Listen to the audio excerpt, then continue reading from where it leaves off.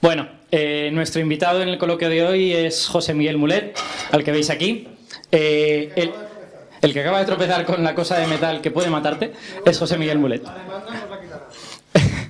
Él es profesor titular de la Universidad Politécnica, es investigador en el Instituto de Biología Molecular y Celular de Plantas, aparte dirige un máster allí en, Biología Molecular y Celular de Plantas también, eh, y es especialista en estrés abiótico, o sea, en qué les pasa a las plantas cuando están sometidas a mucha sequedad y a frío intenso, y a tratar de hacer que las plantas vivan más felices en esas circunstancias, ¿vale? Pero aparte de eso, y por esto lo hemos invitado hoy, es uno de los divulgadores más importantes de este país. Eh, eh, él está muy especializado, hombre, no, no, no. Eh, él, está, especializado en temas relacionados con la alimentación, es muy beligerante contra las pseudociencias, tiene un libro que se llama Comer sin miedo de hace unos años que tuvo un gran éxito, después vino otro que era Los productos naturales Vallatimo y ahora acaba de sacar Medicina sin engaños, que es un libro que os recomiendo personalmente. Eh, yo como divulgador tengo una lectura muy especial de su carrera porque yo hago divulgación desde, desde la barrera, ¿no? O sea, yo hago el bosón de Higgs y estas cosas, que nadie se mete contigo, pero si hablas de cosas como la homeopatía, pues resulta que la gente empieza a atacarte. Y hay gente como José Miguel que hace esa tarea y que la hace muy bien y yo creo que es digno de, reconocer. Eh, hoy nos va a hablar de ciencia y redes sociales, porque además es un activo usuario de Twitter, de Facebook, y nos va a hablar de por qué estas herramientas pueden ser útiles para científicos y cómo las podemos utilizar para comunicar mejor la ciencia que hacemos. Así que os dejo con él. muchas gracias. Eh, el problema que, tengo cuando me, invitan a que dé una charla de ciencia y redes sociales, porque bueno, ya lo ha dicho él, ¿no? E, este investiga y tal, pero no lo hemos llamado por eso.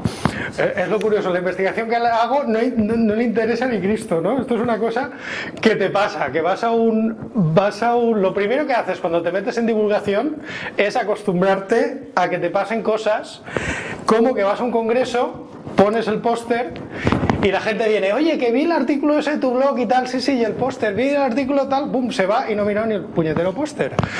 Y dices, bueno, en fin, se ve que tengo que cohabitar mi faceta de científico con mi faceta de divulgador, aunque a veces parece que una es más cara a la otra. Lo que quiero presentaros en esta charla es que realmente no es o una ni la otra, sino que ya veréis, os voy a poner ejemplos prácticos, cómo una puede enriquecer a la otra. Y lo que os cuento es básicamente mi experiencia personal.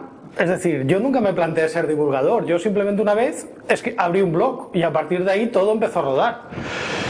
Eh, ¿Por qué abrí un blog? Pues por un motivo, yo trabajo en investigación en biología molecular de plantas y uno de los temas en los que trabajo es ingeniería genética, es decir, hacemos plantas transgénicas. Claro, el problema es que la percepción social de lo que es una planta transgénica no tiene nada que ver con lo que es la realidad científica. Y la información que circula, mm, pues muchas veces directamente es falsa.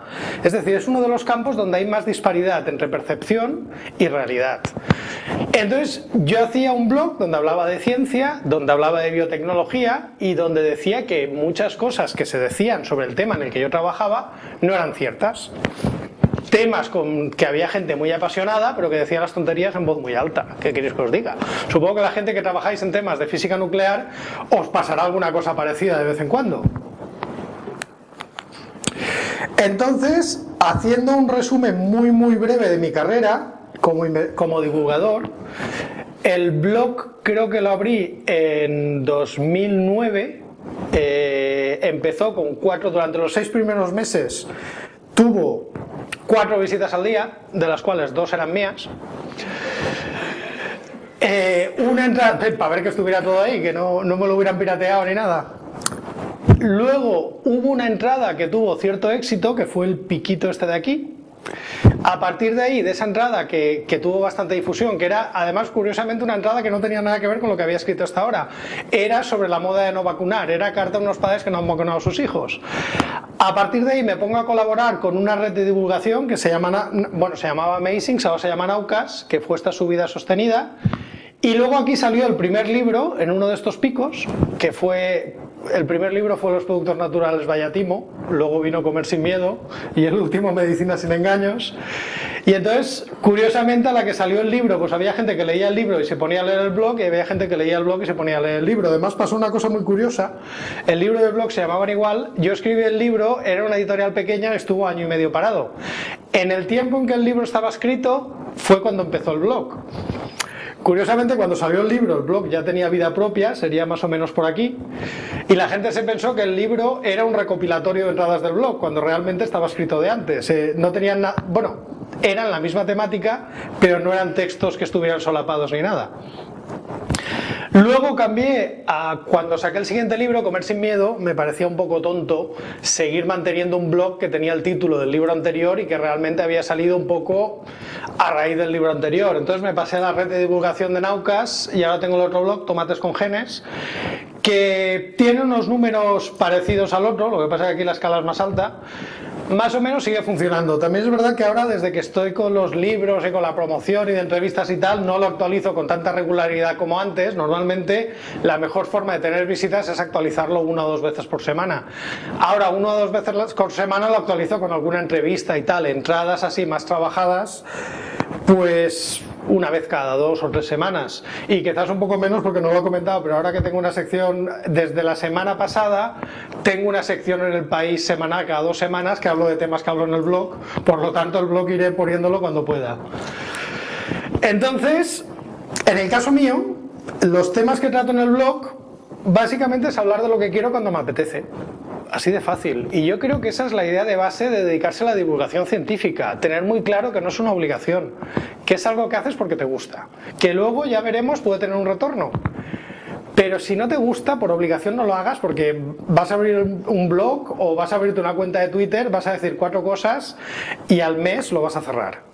Y de esos hay muchos. La mayoría de blogs que se abren tienen tres entradas y ves última actualización, octubre de 2009. Blogs de ciencia y de científicos así, hay la tira.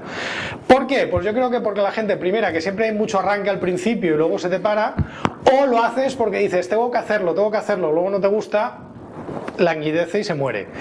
Entonces, Partir de la estrategia de hacerlo como hobby, por lo menos a la mayoría de la gente que tiene blogs, que antes tienen mucho tiempo y mucho recorrido, todos me han dicho, yo empecé con esto como hobby, porque me gustaba.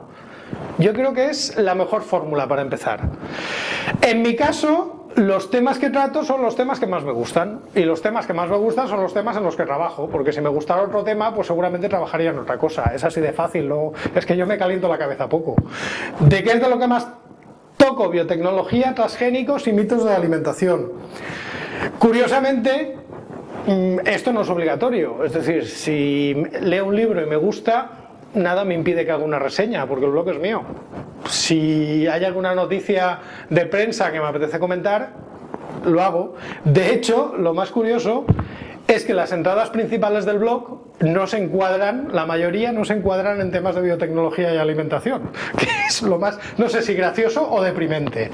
Pero bueno, por ejemplo, la entrada que más tuvo el blog antiguo fue una reseña de la enzima prodigiosa que básicamente decía que el libro era en la enzimología ficción.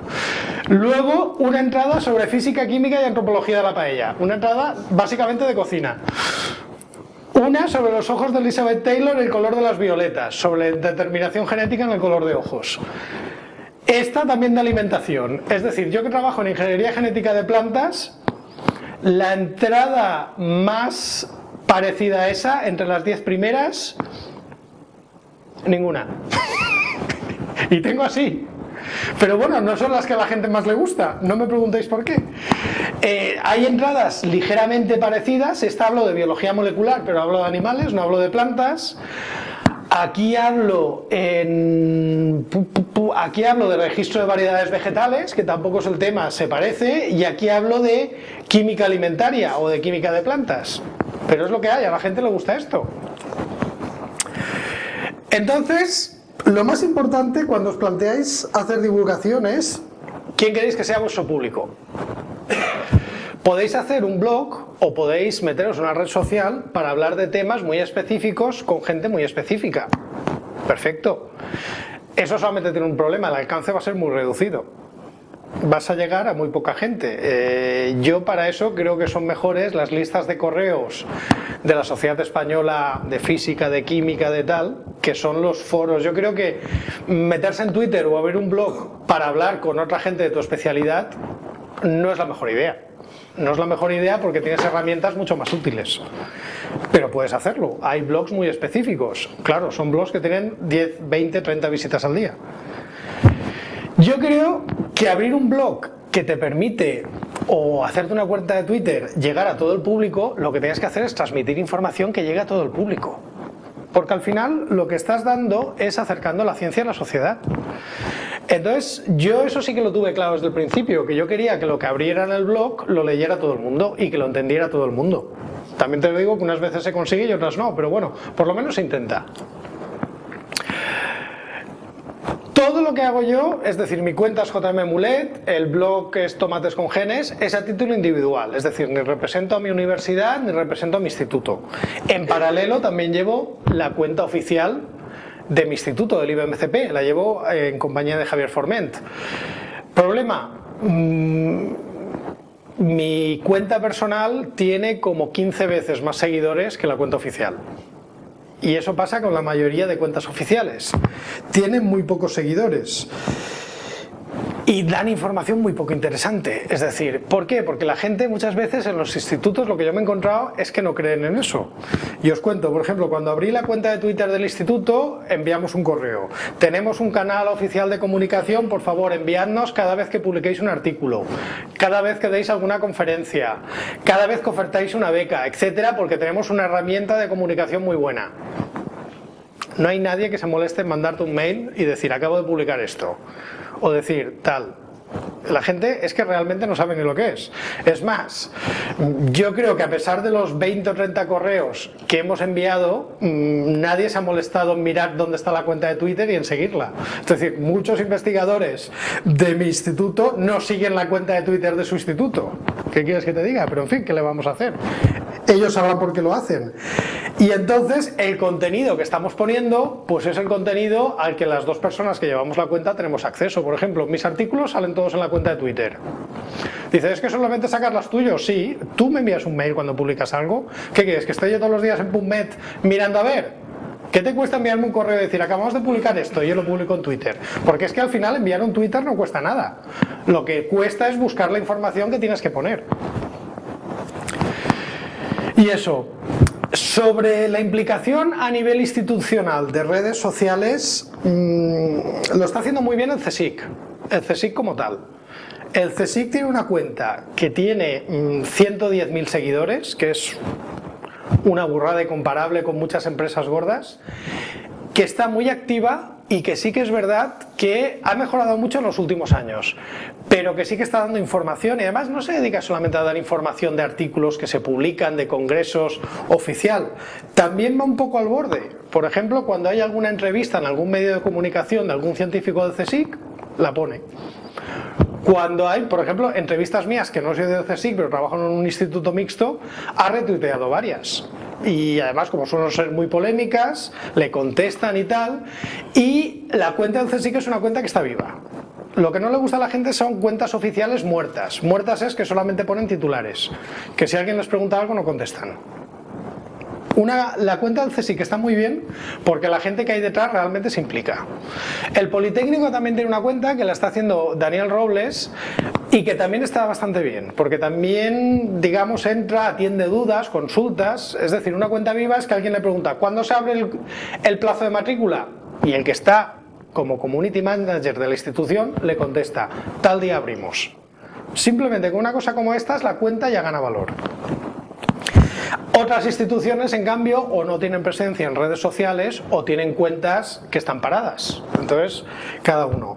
Como ejemplo, eh, lo está haciendo bastante bien y a muchos niveles, es decir, porque a veces la comunicación institucional no es solamente tener una página oficial o una cuenta de Twitter, se pueden hacer más cosas. La Universidad del País Vasco tiene una cosa muy curiosa. Eh, partiendo de esta reflexión, esto es un artículo que publicó la revista Método en el 2011 que enviaba preguntas a divulgadores científicos muy reconocidos de toda la vida, es decir, gente muy conocida y de muchos años en el tema. Les preguntaba cuál sería el futuro de la divulgación científica, habían 20 preguntas y no había ninguna de redes sociales. En el año 2011, no hace tanto. A partir de aquí eh, hubo quien escribió una carta criticando esto, de decir, hombre, mm, si preguntáis sobre el futuro de las redes de la divulgación científica y reflexionáis sobre esto, tenéis que tener en cuenta que las redes sociales cada vez van a tener peso. Esto ha sido hace cuatro años y efectivamente ya se han espabilado todos a tener cuentas y tal. No todo el mundo lo está haciendo igual de bien, quiero decir, estas son cifras ya un poco antiguas, son de hace unos meses, ahora habrán más, pero bueno, por ejemplo, Métode tiene 3.600 seguidores. Ahora asumamos que ahora está por 5.000 y 6.000. Esto os puede parecer mucho, os puede parecer poco, pero en general para un medio de comunicación del prestigio de Métode, yo creo que tendrían que moverlo más. Si la cuenta fuera más activa, tendrían bastantes más. La revista Cuo, que obviamente es otro parámetro, es una revista de divulgación, entre comillas y tal, habla de ciencia y de otros temas, pero por ejemplo tiene 93.000. De los 93.000 a los 5.000 que pueda tener Métode, hay mucho espacio en medio, demasiado. Y bueno, si te vas a muy interesante, está por los 3 millones. Obviamente es otro nivel. Universidades, pues mira, la que conozco yo, que es la UPV, ahora, está, ahora estará en las 20-22 mil seguidores. Es una cifra que yo creo que Métode tendría que aspirar a acercarse a esta, que es una cifra ya más bien correcta. Otras, como investigación y ciencia, que es divulgación científica de la vieja escuela, ahora ha mejorado un poco, pero mm, están los mismos números que Métode. Es decir, de acuerdo que tenéis un público diferente a ya muy interesante, pero es que estás muy por debajo del nivel que tendríais que tener. Quiero yo que si queréis hacer divulgación en el siglo XXI, no podéis estar todavía en el siglo XX con el tema del papel. Investigación y ciencia, por ejemplo, comete otro error, no sé si, lo, si ha cambiado, pero la revista vale 6 o 7 euros y si tú querías artículos individuales por internet, te costaban creo que eran 5 euros. En 57.000, vale. Esto está muy anticuado, lo siento. todos los demás datos estaban bien. Vale. Vale. Hay una cosa que me extraña porque los datos son de mm, finales del 2014, que es que no he tenido tiempo de actualizarlos hoy. Todos los que has dicho yo los he mirando y estaban bien, pero este por algo ha pasado. Vale, ese, exacto, ese algo, me sospe, ese algo es muy sospechoso. Sabéis que se pueden comprar seguidores, ¿no? Los demás más o menos estaban en el umbral. Vale, pues este me extraña, porque un subidón tan fuerte en tan poco tiempo... Mm, normalmente se va subiendo 2.000 o 3.000 al mes si lo vas haciendo bien. Pero tanto, bueno... Otra cosa, lo único que se me ocurre es que te puedo decir que hace unos meses, que fue la última vez que lo miré, eh, si tú te comprabas un artículo suelto de investigación y ciencia por internet, eran 5 eh, euros y la revista entera valía 7. No, no tiene sentido. Si ahora mismo han liberado contenidos por internet, se puede explicar el subidón de tal. El cambio de investigación y ciencia se ha hecho hace muy poco, ya os lo digo.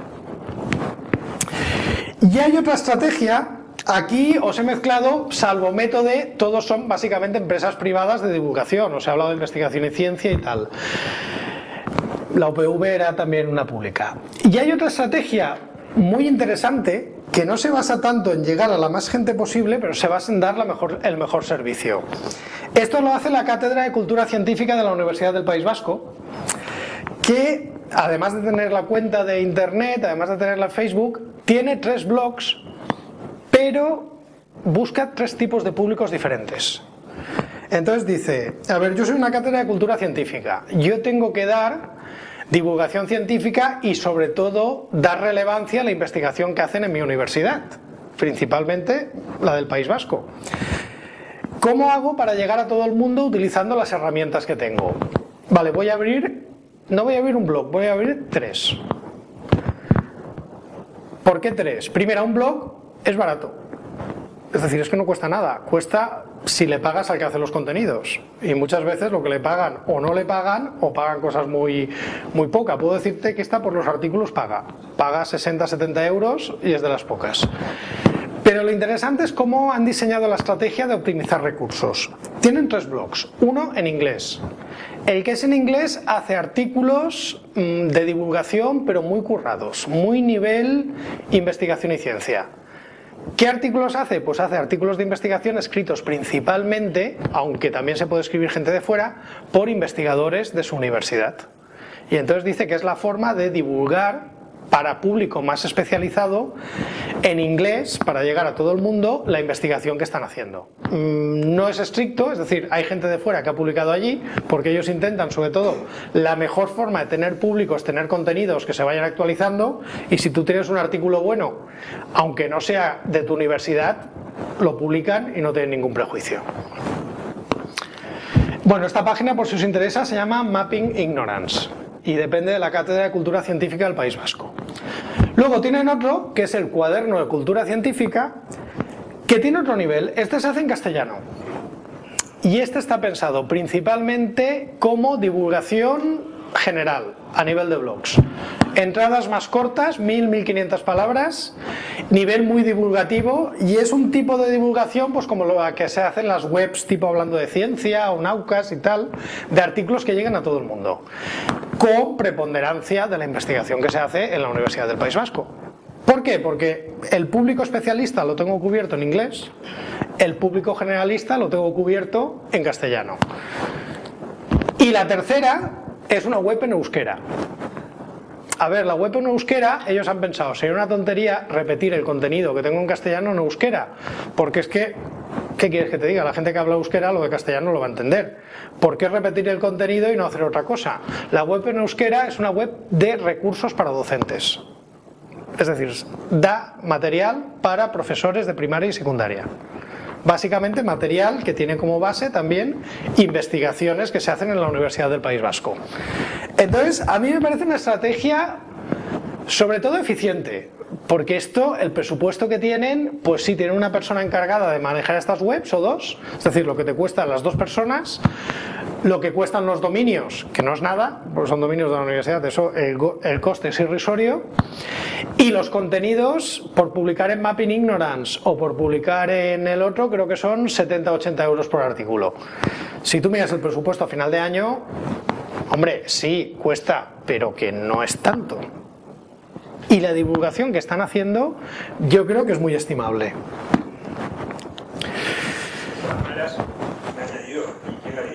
Eh, la dirige Juan Ignacio Pérez y Juan Ignacio Pérez era rector de la Universidad del País Vasco durante cuatro años creo que fue. Eh, bueno, él es catedrático de Fisiología Limal, ahora ha pasado a la Cátedra de Cultura Científica, con la que ya solamente se dedica a la divulgación científica, y es una persona que está metidísima en el tema de redes sociales y además que lo vive desde dentro. De hecho, puedo deciros que en la red de divulgación científica Naucas hacemos un evento todos los años en Bilbao, que lo organiza principalmente él, porque lo hacemos en el Paraninfo de la universidad, que simplemente son microcharlas de 10 minutos de la gente que colabora en ese blog y se llena. Es decir, en el Paraninfo caben 500 personas y fuera hay otras 500 esperando. Es decir, organizar un evento como este que tenga un éxito de público ya tiene mérito. Es decir, el que la dirige es Juan Ignacio Pérez y el que está detrás de los contenidos es César Tomé, que es un bloguero científico muy reputado, que es una persona que sabe de todo y que, ya os digo, yo he publicado una vez y creo que la revisión que te hace el del post es peor que algunas revistas de factor de impacto del 10. ¿eh? Creo que es la vez que más me han devuelto el paper ha sido cuando publiqué en el cuaderno de cultura científica. No, en Mapping Ignora. No, no, en castellano, qué puñetas. En inglés no me atrevo. En inglés no tengo nivel. Lo publiqué en el blog en castellano. Es decir, una cosa que publiqué sobre transportadores iónicos de membrana en el blog en castellano, que se supone que es el de nivel más bajo, me lo devolvió tres veces. Es una cosa. Ya os digo yo que lo que se publica es FETEN, es fino y está muy bien revisado. Bueno, pues hasta aquí un poco de lo que es la divulgación a nivel oficial. Luego tenemos el tema de las redes sociales.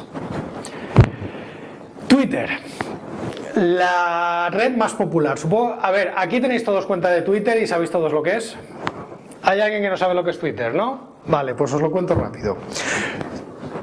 Twitter es una red de microblogging. Microblogging quiere decir que tú puedes poner mensajes de 140 caracteres, es decir, frases, poco más. ¿Y eso a quién le llega? Bueno, pues Twitter funciona por un sistema que tú, si tú estás dentro de Twitter, tienes una cuenta y sigues a alguien, tú puedes ver todo lo que a la gente que tú sigues publica.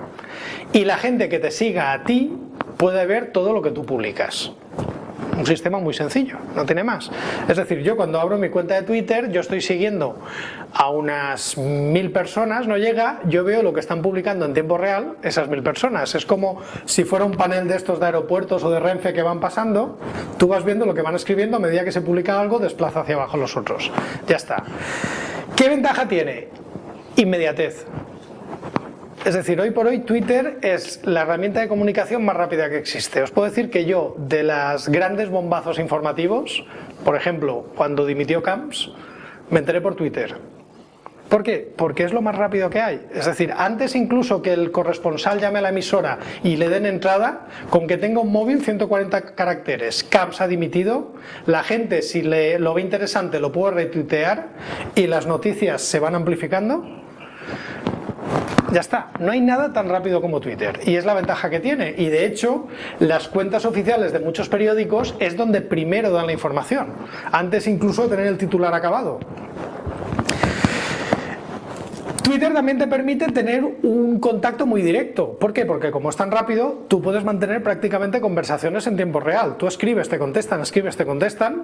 Y hombre, no es como si estuvieras hablando por teléfono, pero casi, porque la información se ve en plan flash. Eso quiere decir que también es muy fácil discutir por Twitter, ¿eh? Las broncas, tela, lo que hay. ¿Sirve para la ciencia? Yo creo que sí. ¿Qué queréis que os diga? Eh, ahora hay un debate porque hará cosa de, unos meses salió un artículo de Neil Hall, que es un, divulgador, y decía que mirando las cuentas de científicos en Twitter que más seguidores tienen, básicamente Neil deGrasse Tyson, que tiene dos millones, Brian Cox, un millón, Richard Dawkins, también más de un millón, decía que eran científicos que no estaban en activo. Es decir, que era gente que hacía mucho tiempo que no publicaba. Entonces él hizo un artículo que era el índice Kardashian. El índice Kardashian era por Kim Kardashian, que es una persona que es famosa pero nadie sabe por qué. Eh, eh, el equivalente español sería Paquirrín, el Kiko Rivera, con la diferencia que, hombre, poner las dos fotos es más agradable la de Kardashian. Pero aparte de eso, son famosos sin ningún mérito que puedas atribuirles. Entonces él decía que los científicos que más presencia que tenían en, Twitter a nivel de producción eran los que más baja producción tenían, mientras que la mayoría de científicos que tenían una producción muy muy alta no, tenían, no estaban en Twitter.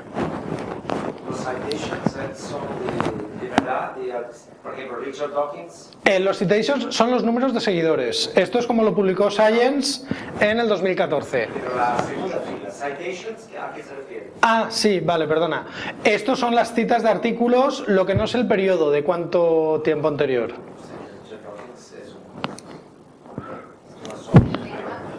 Sí, lo que pasa es que él también hacía una, una cosa de la, de la producción en los últimos 5 o 10 años. Es decir, muchos eran científicos que ya no estaban en producción científica. Entonces saca el índice K, que esto era relacionando producción con citas en seguidores en Twitter con producción científica. Es una tabla de doble entrada. Curiosamente, a raíz de este artículo, la revista Métode hizo la versión española.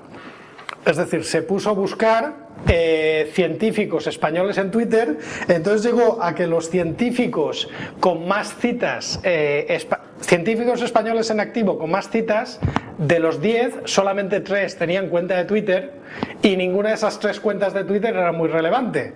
Entonces nos sacó a los del índice K, a los que más Twitter teníamos y menos producción científica. Aquí estoy yo, eh, qué simpáticos y guapos. El segundo que de... Bueno, realmente no lo decía así, no. no es que nos dijera lo del índice K, a ver, lo decía, pero no lo decía. Decía que estos, los que salimos aquí, estos caretos de aquí, Por cierto, este es Juan Ignacio Pérez, el de la Cátedra de Cultura Científica, del que os he hablado antes. Estos son científicos en activo es decir, con publicaciones con factor de impacto en los últimos tres años, con al menos una publicación con factor de impacto en los últimos tres años, que tienen más de mil seguidores en Twitter. Este fue el criterio de inclusión que hizo la revista Métode.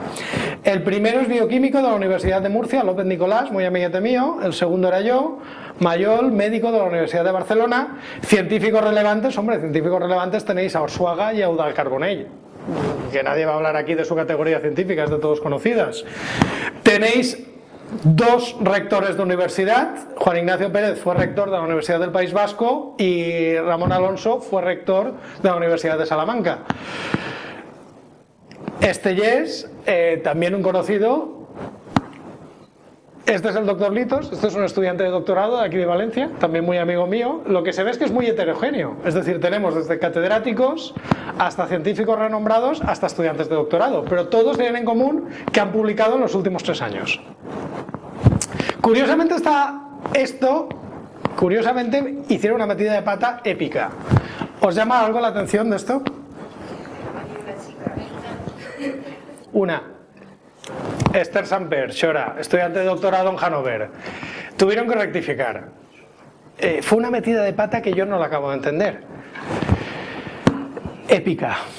Bueno, esta es la lista completa después de hacer la rectificación. Habían puesto de 20 dos chicas, cuando realmente las cifras no eran, no eran, no eran así. Hay más chicas que tienen que tiene nivel. Aquí esta es la lista final, ya entrando con las rectificaciones. Aquí tenéis a Clara Grima, a Mara, que es postdoc en el Zaidín, en Granada, Esther Samper, que ya estaba en la anterior lista. Elena Matute, Psicología de la Universidad del País Vasco, María Ángeles Pérez, del CNB, Biotecnología también, etcétera, etcétera. Bueno, volviendo al índice H. Se supone, según dijo la revista Métode, también es verdad que según cómo hagas el criterio hay gente que sale y hay gente que entra. También puedes coger, por ejemplo, de ciencias sociales veo bastante poca gente. Y hay economistas, si tú consideras científico a este que estaba en el Barça, el de las americanas llamativas, el Xavier Sala Martí es profesor de economía en la Universidad de Columbia. Si tú consideras que la economía es ciencia, este señor está aquí arriba, no, aquí, porque tiene del orden de un millón de seguidores y es profesor o catedrático de economía en una universidad. Yo eso es un fallo que le veo a esta lista. Entonces, partamos de que la lista es discutible, pero puede servir. Bueno, este os suena, ¿no? Que no he dicho nada. Lo conocéis muchos. Partiendo de esto, sí que es verdad que la lista es heterogénea, que hay gente que tiene una producción científica estimable, hay gente que menos, pero en el fondo todos son científicos en activo. ¿Qué utilidad tiene que un científico esté en Twitter? Yo os puedo decir la que tiene para mí. Yo que trabajo en un tema de plantas transgénicas, hay mucha gente que cuando ha tenido dudas me ha preguntado, yo si he tenido un momento en el Twitch se lo he contestado, y pues algunos que eran tremendamente agresivos y tal, pues simplemente le he dicho, mira, léete esto, o mira, o eso que me dices no es cierto, o ese enlace que me pasas tiene fallos, pues eso hace que la gente tenga información de primera mano, que si no estuvieras en Twitter no la tendría. Que sí, que te pueden buscar en el directorio, escribirte un correo y si tú tienes tiempo lo contestas, pero no es lo mismo. No es lo mismo porque Twitter es inmediato. En cambio, un correo, pues sí, lo lees y cuando te acuerdas lo contestas, pues si tienes 50 más, se te pasa a contestar. O ese señor mm, está en el ordenador, pero mira, esto si supiera alguien se lo preguntaría. Pero no se va al directorio a buscar cuál es tu dirección de correo electrónico, etcétera, etcétera. Es decir, la inmediatez que tiene y la facilidad de transmisión de información de primera mano, y os puedo decir que muchos de los que están en esta lista y que tienen muchos seguidores, no es porque sean mejores o peores científicos, es porque son más accesibles. Es porque cuando la gente le pregunta algo contestan. Por eso hace que tengan más seguidores. Porque ya os digo que una cuenta esté viva es lo que hace que suba. Entonces, algunos no sean los mejores científicos. Ya os digo, insisto en que muchos de aquí son científicos muy buenos. ¿eh? Tampoco vamos a ponernos con los del índice K. Pero en general tienen en común que es gente accesible, gente que transmite. Y gente que una persona que no conozca de nada le pregunta y hay mucha posibilidad de que conteste. Entonces yo creo que es una forma de acceder a la ciencia muy buena y muy interesante, tanto a nivel individual como científico como a nivel de instituciones. Insisto, las instituciones que tienen cuentas de Twitter vivas, que contestan, son instituciones que enseguida suben de seguidores. Facebook, a nivel, a nivel de ciencia, mm, a mí me gusta menos, ¿qué queréis que os diga? Facebook es una red que está pensada para poner las fotos de la comunión de la familia y que la gente que tú tienes en Facebook las vea y diga qué guapa está la niña. Es que para eso es para lo que sirve Facebook.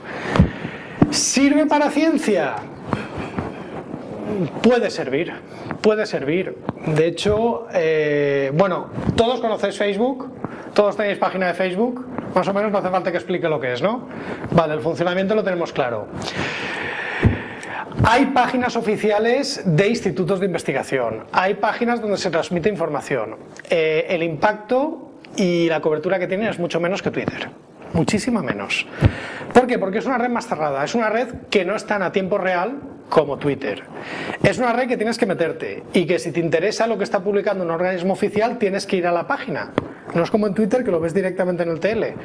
Entonces, hay páginas oficiales, hay organismos oficiales, pero yo creo que está teniendo menos impacto a pesar que va mejorando la cosa y que cada vez se está poniendo, pero yo creo que para ciencia, desde mi punto de vista, mejor Twitter.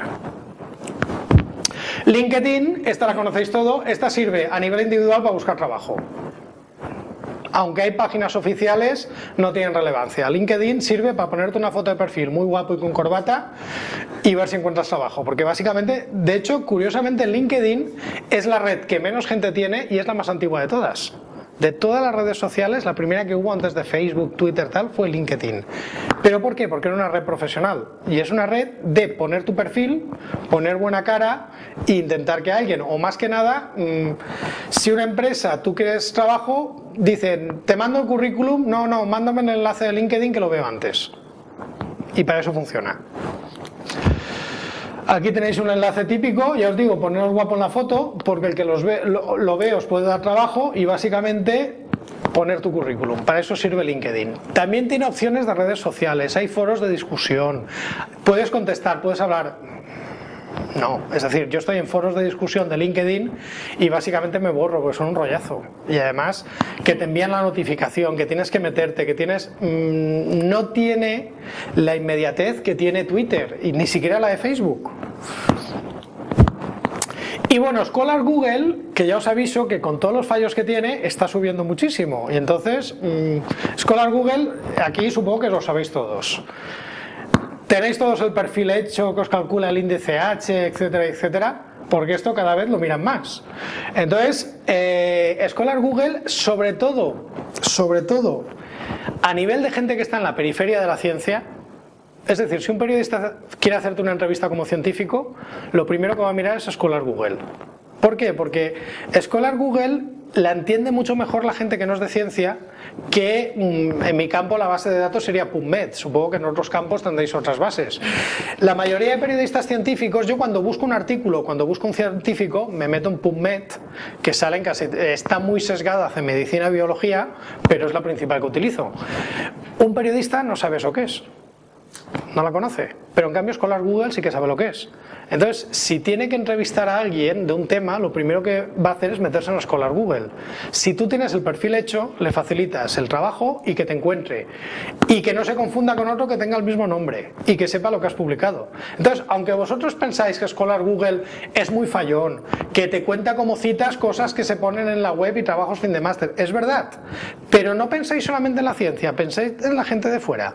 Puedo deciros que cuando, y esto lo sé porque me lo han dicho periodistas, cuando tienen que preparar un tema de ciencia o tienen que entrevistar a alguien, van a escolar Google. ¿Por qué? Porque el Google sabe manejarlo y escolar Google se maneja igual. Entonces, yo recomendaría a todos tener el perfil de escolar Google hecho, aunque no os guste, aunque sea fallón, aunque etcétera, etcétera. De hecho, mira, hasta Einstein se lo ha hecho. Por cierto, todo se ha dicho, ya no es lo que era, ¿eh? En los últimos 10 años ha bajado mucho el índice H, pero bueno. ¿Vale? Sigue, sigue siendo citado, pero, pero esto tendrá que espabilarse. Bueno, y otras redes sociales específicas para científicos, ResearchGate, ¿lo conocéis todos? Parecido a academia.edu. ResearchGate solamente sirve para una cosa, creo yo, que es como depositorio de artículos, como repositorio. Es decir, si tú quieres un artículo de alguien y no tienes suscripción a la revista, mm, pues posiblemente ResearchGate lo tenga colgado y te lo puedas bajar. Y es más rápido que pedirlo para poco más. Es decir, todas las opciones que tiene redes sociales, eso de darte una puntuación, que eso es lo que más te motiva, porque si conoces a alguien que tiene menos, te ves hasta más guapo, y si conoces a alguien que tiene más, dices, total, no sirve para nada. Eh, es la actitud. Es decir, lo de darte una puntuación y de un índice lo hacen simplemente para que te motives, para que estés ahí, para que metas más información. No es por otra cosa, no es que ese índice sirva para nada ni diga nada. El tema ResearchGate, yo la única utilidad que le veo es conseguir artículos, nada más. Porque todas las funciones que tiene de redes sociales, de networking y tal, las hace mucho mejor cualquier otra red social. Entonces, nada. Aquí tenéis un perfil que también te puedes hacer, ¿veis? Esto es lo que os digo. La puntuación esta que calculan en función de no sé qué y tal y cual, solo lo hacen para que te piques y estés más tiempo en gates poniendo material. Nada más. Y entonces, ahora quería haceros una breve reflexión. Os he explicado las redes sociales, la ciencia y tal y cual. ¿Para qué sirve? ¿Pensáis que vale la pena perder tiempo en esto?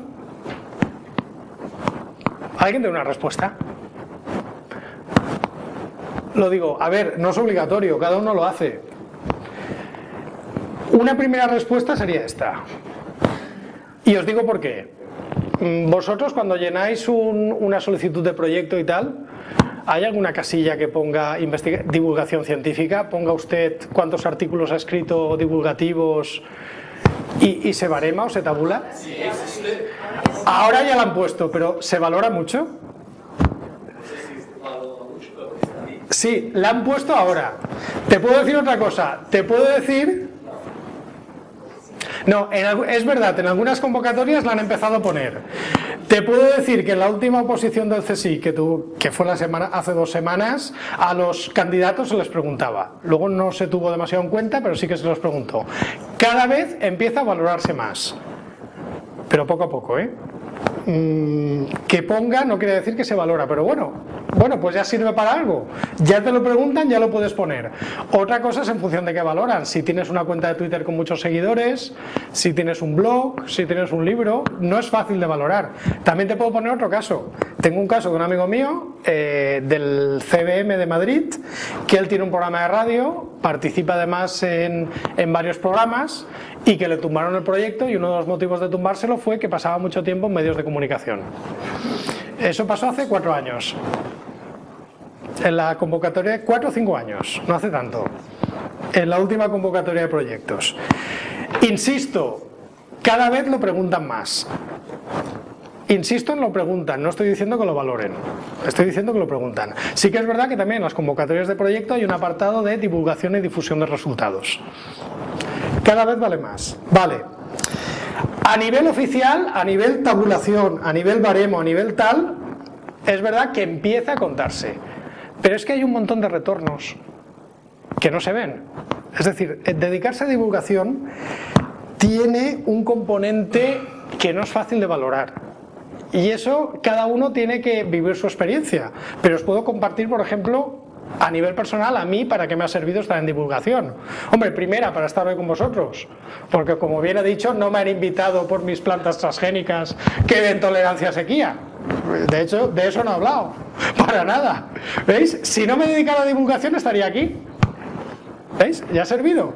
Para estar yo aquí. Primera cosa para la que me ha servido. Pero bueno, esto es lo que os diga, se menciona en todos los programas, no tiene ninguna recompensa, lo de es contraproducente, lo decía por este caso, también es contraproducente porque el tiempo que dedicas a la divulgación, sí que es verdad, no estás leyendo papers, no estás en el laboratorio, pero tiene recompensas. Insisto, esta visión es a título personal. Voy a contaros las recompensas que he tenido yo por estar en divulgación científica. Un ejemplo práctico. Eh, esto es un comentario que me dejaron en un blog hace ya tiempo, en el 2011, esto es muy al principio, que me hablan de un artículo que yo no conocía sobre los efectos tóxicos de un herbicida. La cuestión es que este herbicida se utiliza para plantas transgénicas y entonces nada, era todo el apocalipsis. Y me cita esta noticia. Esta noticia nos dice que el herbicida este produce unas malformaciones y tal. Total, que yo para contestarle, la chica está en condiciones, pues lo que hago es descargarme el artículo, empezar a leerlo.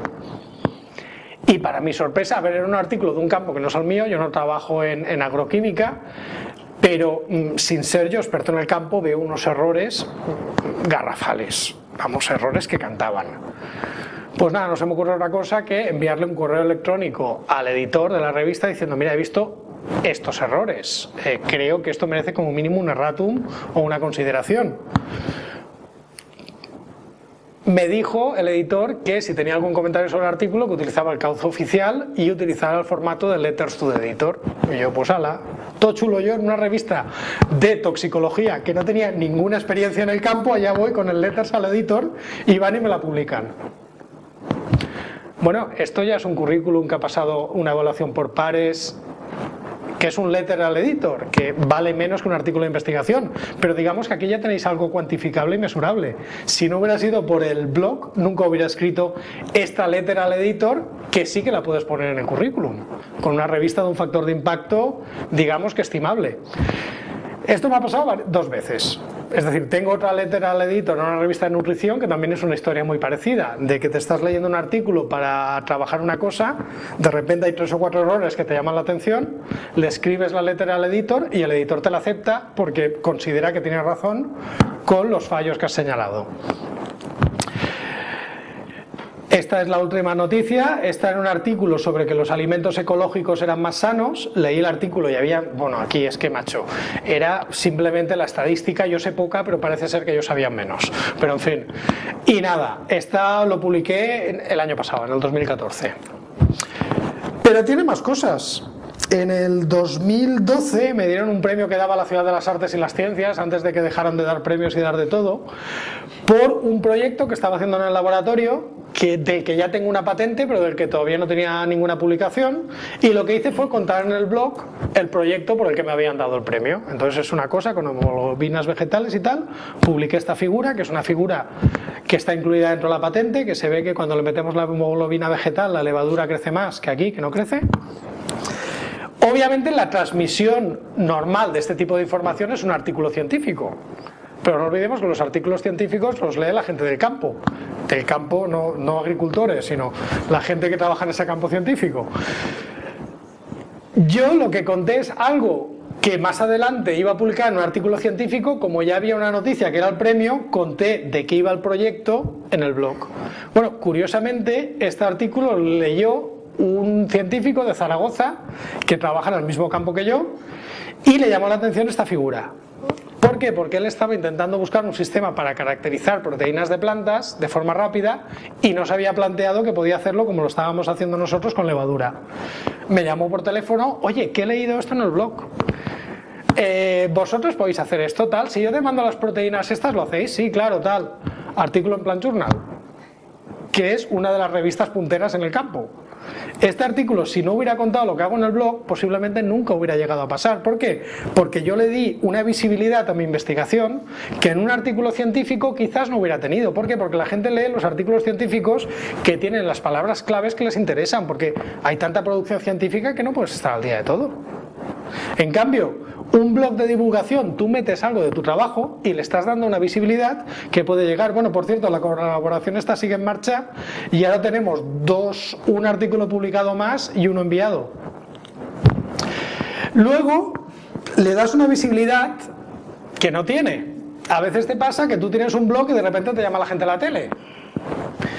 Y te llama la gente de la tele y te dice, tienes que hablar de transgénicos. Y yo, vale, bien, tal. Y te llama una semana antes, no, ¿qué tal sobre conservantes y colorantes y tal? Y digo, hombre, no es mi campo de investigación, hay gente mejor, hay gente que sabe más. Y dice, pero tú sabes algo. Digo, bueno, sí, doy clases en agrónomos, tengo que dar clases de esto, pero no es mi campo de investigación, hay gente que sabe más.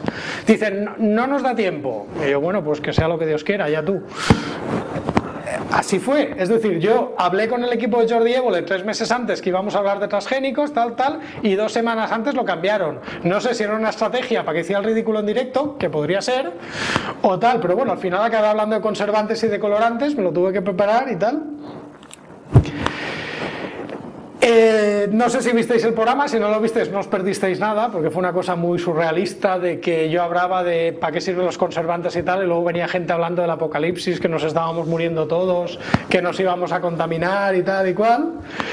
Pero bueno, eh, la cuestión es que primera, durante el programa obviamente es grabado, durante el periodo de emisión yo estuve por Twitter dándome cera con el científico que salía después que era de, toxicología ambiental, que básicamente tenía una visión muy alarmista del tema. Vamos, dándonos, estuvimos compartiendo.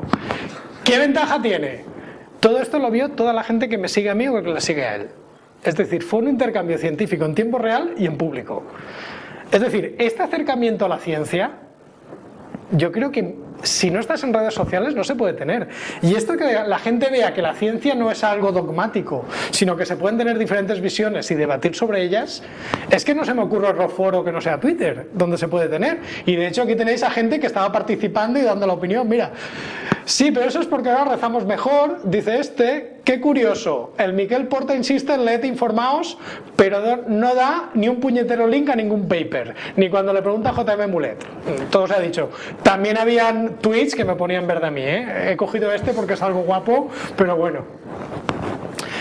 Yo esto creo que hay pocas herramientas más útiles para acercar el trabajo que haces a todo el mundo. Y al final pensad que la mayoría nos financiamos por fondos públicos. En el fondo lo que estamos haciendo es retornar lo que nos están dando. Y luego ya no es un retorno social. Curiosamente, a raíz de ese programa de Salvados, y de este artículo que había escrito en el blog me contactó la editorial Destino y así fue como salió el libro de Comer sin Miedo. El libro de Comer sin Miedo, la editorial contactó conmigo porque me vieron en Salvados y porque leyeron el blog. Si no hubiera salido en Salvados o no hubiera tenido el blog, pues ahora igual no estaba dándoos la charla aquí. ¿Qué queréis que os diga? Y también es una herramienta docente. Es decir, no sé cuántos de aquí tenéis que dar clase, a mí me toca dar clase y mogollón. Y puedo deciros que eh, dentro del máster tenemos una asignatura de mm, comunicación científica, donde damos una parte de escribir artículos, una parte de comunicación en congresos y una parte de comunicación de ciencia en general, que es la que doy yo, que el ejercicio que les pongo es, tenéis que escribir un artículo para el blog y lo voy a publicar en el blog. Y tenéis que ser vosotros los que contestéis en los comentarios.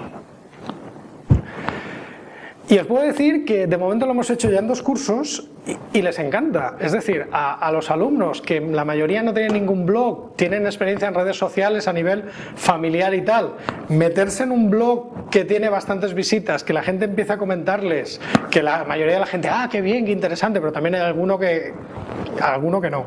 También hay alguno que se mete y tal.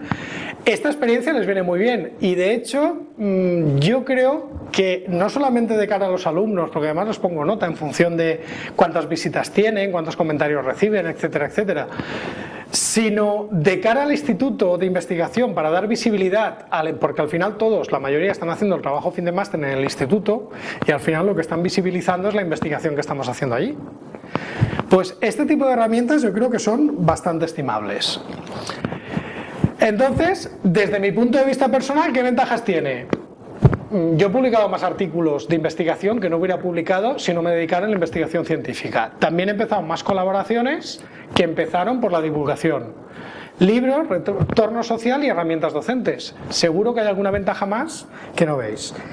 Y bueno, tenía una segunda parte que era sobre escribir un blog, sobre pistas y tal, pero como se está haciendo muy largo y creo que es más interesante lo que me tengáis que contar, si no os importa lo dejo aquí. ¿Vale?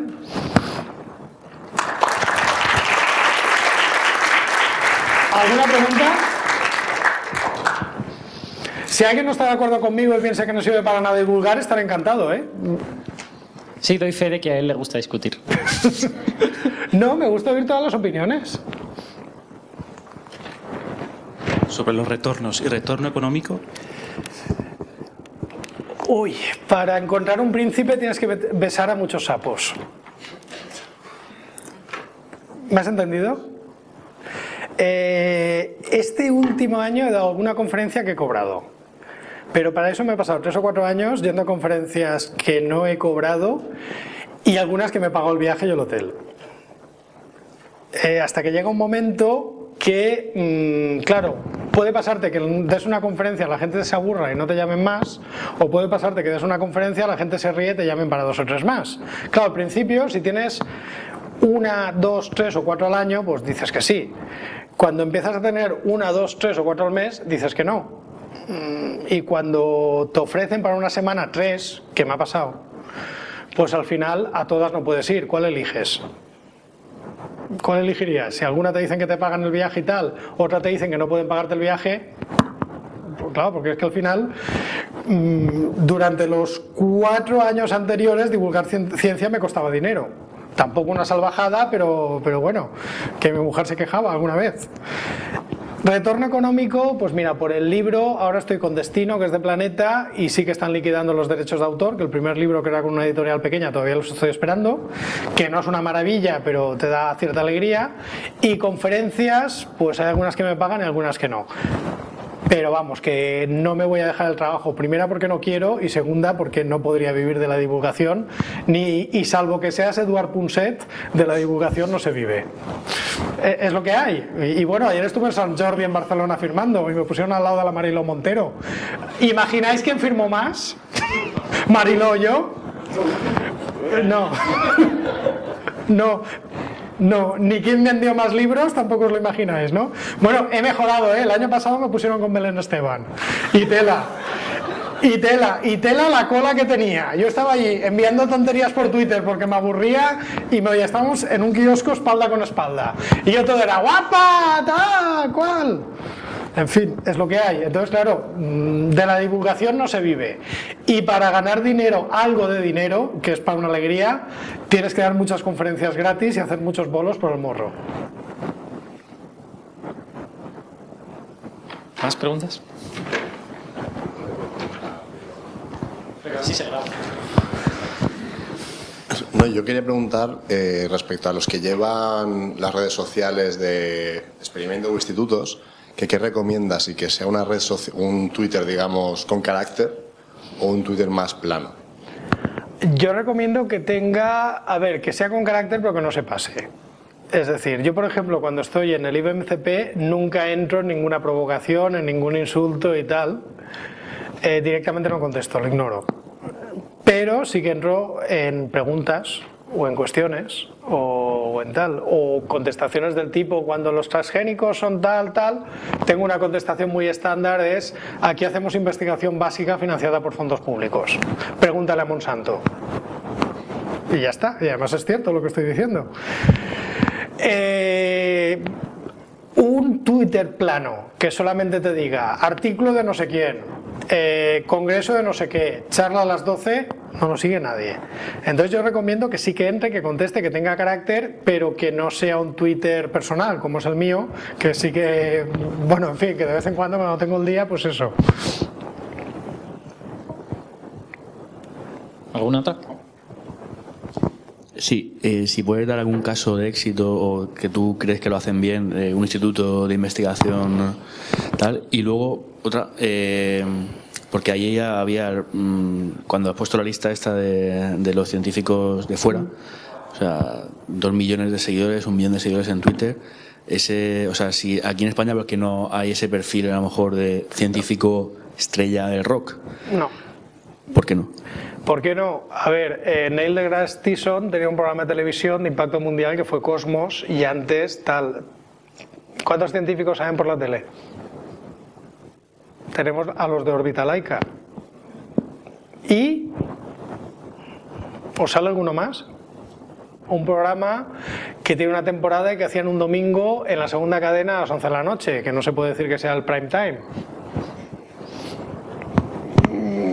A ver, eh, el mundo anglosajón tiene sus cosas buenas y sus cosas malas, pero la divulgación científica que hacen en Gran Bretaña o en Estados Unidos, yo creo que tiene más relevancia que la que hacemos aquí. ¿Por qué? Porque gente como Neil deGrasse Tyson o Brian Cox tienen programas de televisión que ve mucha gente. Aquí dicen, no, es que aquí no le interesa. No, a ver, no, es que aquí tú no lo programas. Sí. Y dijeron que a la gente no le interesa la ciencia, ¿no? Una cosa de estas. O...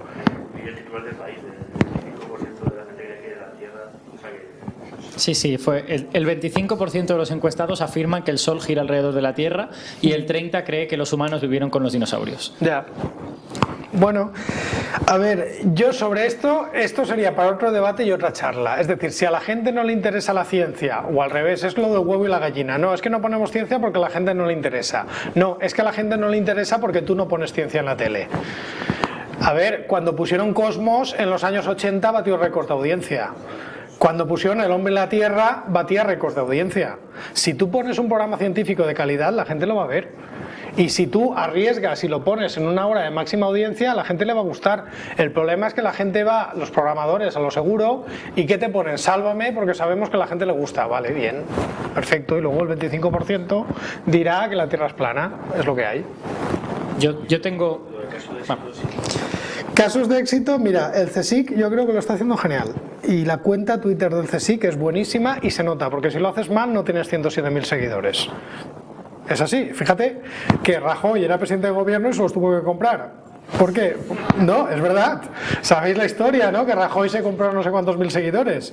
Y un presidente del gobierno sale mucho por la tele, la gente por eso ya le sigue. El CSIC si tiene 107.000 seguidores es porque lo está haciendo bien. Cuo, por ejemplo, que conozco a la community, que es Aurora Ferrer, dijo que ellos empezaron fatal, no tenían seguidores, y a la que se pusieron a entrar en debates, a hacer concursos, a poner contenido que tenían en la Twitter que la gente no tenía en la revista y tal, pegaron el subidón. A nivel de instituto de investigación, mira, lo siento, no me sale ninguno, así que me venga a la cabeza. Te diría el mío, pero no, el mío tenemos mil y pico seguidores, que eso es de pena.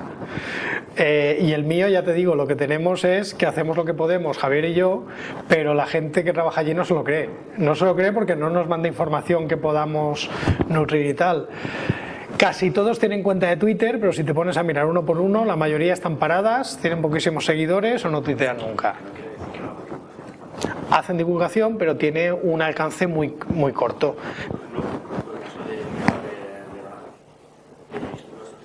Esa gente, yo creo que en di- en divulgación son bastante activos. Sí. Y luego Twitter realmente tiene una cuenta que no sé si llega Sí, a, a mil seguidores. O Y el de astrofísica de Canarias también.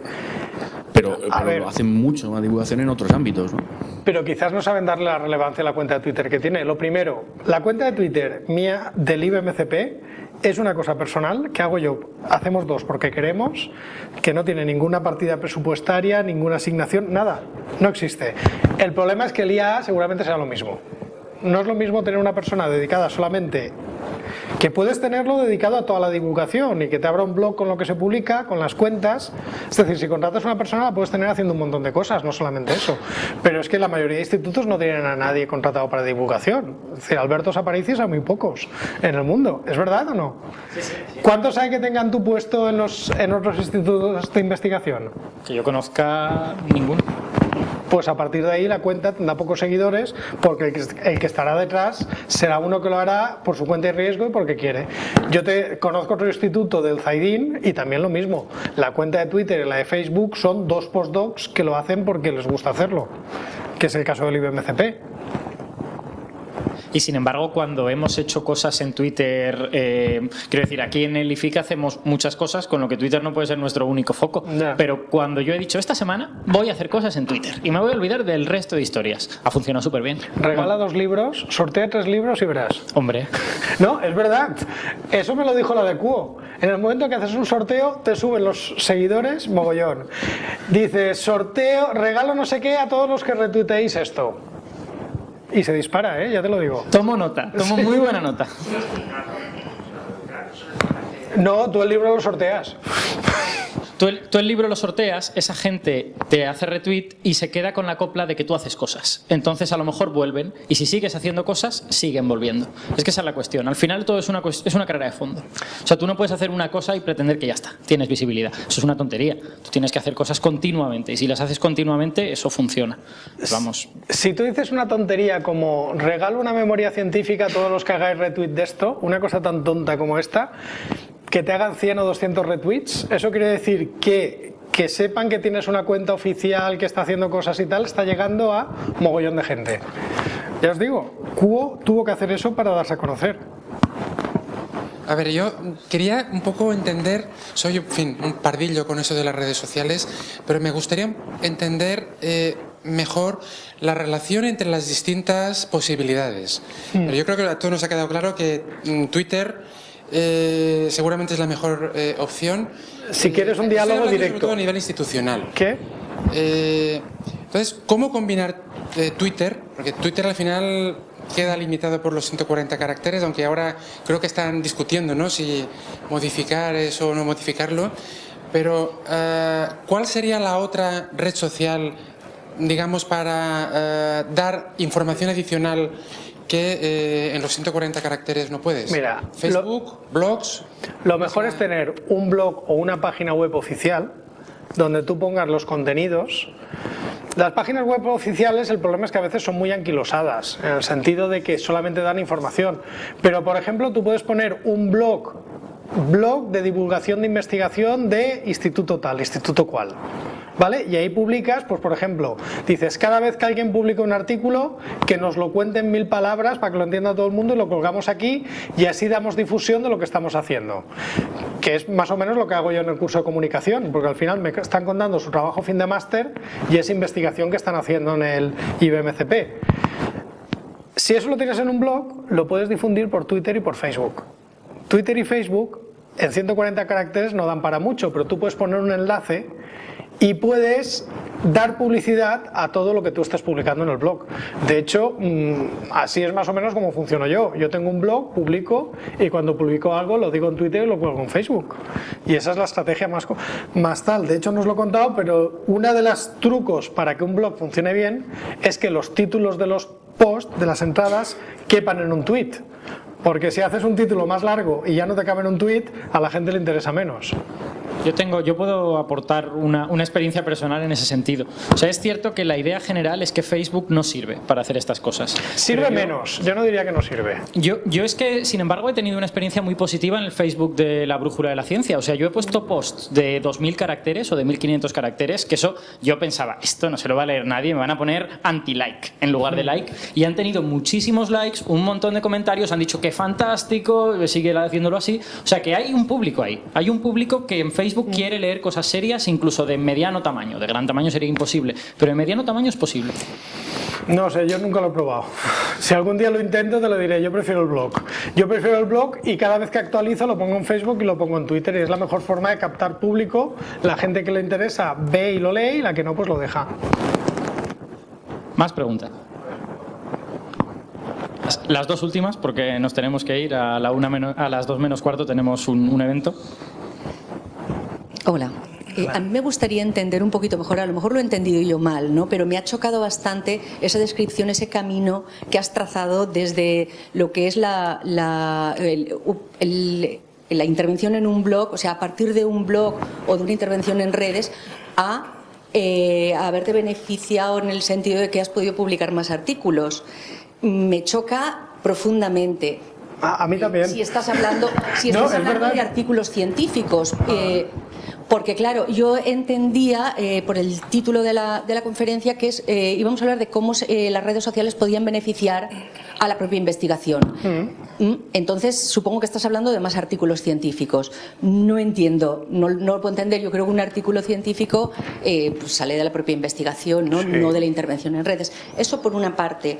Por otra parte, Mm, creo que el, el planteamiento que, que has hecho también desde de llegar a la, la- la importancia de las redes sociales eh, a la hora de, de obtener un rendimiento social, a lo mejor, de, eh, sobre el conocimiento de la ciencia, eh, bueno, creo que las redes sociales ahí pueden actuar como un vehículo más de divulgación de la ciencia como puede ser cualquiera, pero creo que el retorno no lo dan re- las redes sociales, sino que la dan, la da la divulgación en sí, es decir, la divulgación, la transmisión del conocimiento que, que, la divulgación a través de cualquier vía, sean redes sociales, sean revistas científicas, sean conferencias, sean lo que sea, eh, ayuda a, que, a tener una, una, una, ciudadanía más culta y más preparada para luego opinar y, por supuesto, revertir en un beneficio social, porque luego podrá eh, intervenir, en las políticas. Intervenir. Y por último, para no alargarme más, eh, la tercera cosa que me ha chocado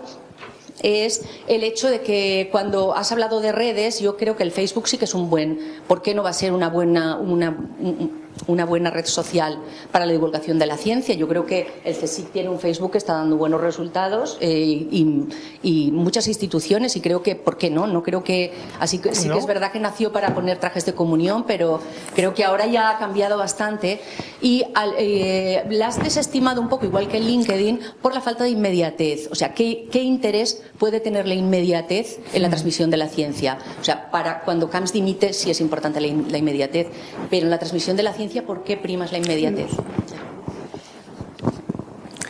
A ver, poco a poco. empezamos por el tema de los artículos. El tema de los artículos, lo que he explicado es que gracias a estar en redes sociales he publicado más artículos. ¿Por qué? Porque las redes sociales son un escaparate impresionante para tu investigación. Entonces, hay gente a ver, sabemos que la vía normal de dar publicidad o que la gente conozca es publicar en revistas con factor de impacto. Y yo sigo siendo científico y sigo publicando en revistas con factor de impacto. Las revistas con factor de impacto también es verdad que llegan a la gente especializada las lee la gente de tu campo. Que sí que es verdad que ese artículo es muy bueno, lo leerá mucha más gente y tendrá muchas más citas. Pero independientemente de esto, que sigue estando, es decir, yo sigo publicando en revistas en inglés, con JCR, revisiones y tal, yo lo que publico lo cuento en el blog. Y cuando lo cuentas en el blog llega gente que no es de ciencia, pero es que también hay científicos que leen el blog. Y también hay científicos que lo que tú publicas en el blog les puede llegar antes que un artículo científico que igual no les ha llamado la atención porque no estaba en una revista muy buena o porque no era tan de su campo. En mi caso, la ventaja que tuve es que yo ahora mismo tengo una colaboración con un grupo de fisiología vegetal muy bueno de Zaragoza y esa colaboración partió de un artículo que publiqué en el blog que se dieron cuenta que estaba utilizando una técnica que podría venir muy bien para lo que estaban haciendo ellos. Entonces, si no hubiera tenido un blog con cierta visibilidad y ellos no hubieran leído el artículo que publiqué en el blog, pues posiblemente esa colaboración nunca se hubiera llevado a cabo. Entonces, en mi retorno, puedo deciros que en mi currículum ahora mismo hay dos, tres, cuatro artículos que directamente han surgido de dos de una colaboración que vino por redes sociales y dos que son las cartas a editor que han venido de artículos que me he leído para escribir cosas para el blog. Entonces, mm, pues hombre, entre tener cuatro artículos más o no tenerlos, pues yo prefiero tener cuatro artículos más. ¿Qué quieres que te diga? Que luego hay que pedir proyectos y eso se valora. Entonces, para eso me han servido las redes sociales. Sobre la segunda cosa, el, era, espera, era, tenemos el tema de Facebook, inmediatez. Bueno, también yo te estoy hablando desde mi experiencia. A mí Facebook yo lo utilizo, yo cuelgo cosas y tal, pero la red de Facebook en general suelen ser mucho más limitadas, suelen ser mucho más limitadas, tienes que darle al me gusta, ese me gusta no llega tanto, pero bueno, sí, sirve. Hay páginas de Facebook muy cuidadas, hay páginas de Facebook que tienen mucha información y hay gente que pasa más tiempo en Facebook que en otras redes sociales. A partir de ahí, mm, pues, todas son complementarias. También es verdad que he metido un poco mi visión personal de que a mí Facebook me gusta menos, pero puede haber gente que tenga otra opinión. La inmediatez te digo que es muy útil porque tú con Facebook mmm, no puedes hablar con el científico. Con Twitter es más fácil que hables con el científico. Esa es la ventaja que le veo yo. Pero insisto, sí puedes, lo puedes escribir, lo puedes contestar, pero no tanto.